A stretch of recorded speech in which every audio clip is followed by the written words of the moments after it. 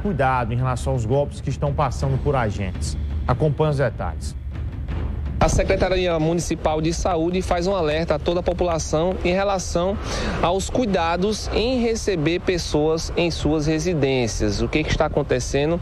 Algumas pessoas estão se passando por agentes comunitários, né, é, funcionários da prefeitura, para justamente entrar nas residências e aplicar vários golpes. Aquelas pessoas que não estão avisadas, pessoas de boa fé.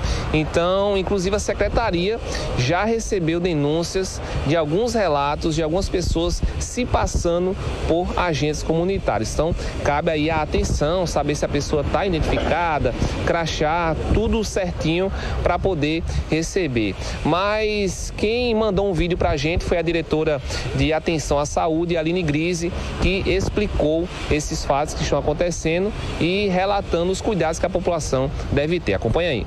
Enquanto Secretaria de Saúde, estou aqui para alertar vocês, usuários, a respeito de um golpe que vem sendo aplicado por pessoas fingindo ser agente comunitário de saúde.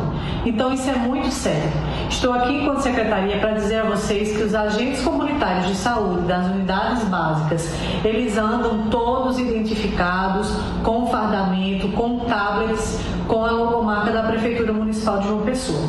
Então tenham muito cuidado. E qualquer dúvida que você tiver, você pode procurar uma unidade básica de saúde e perguntar quais são os agentes daquela unidade que todos os funcionários vão estar te informando.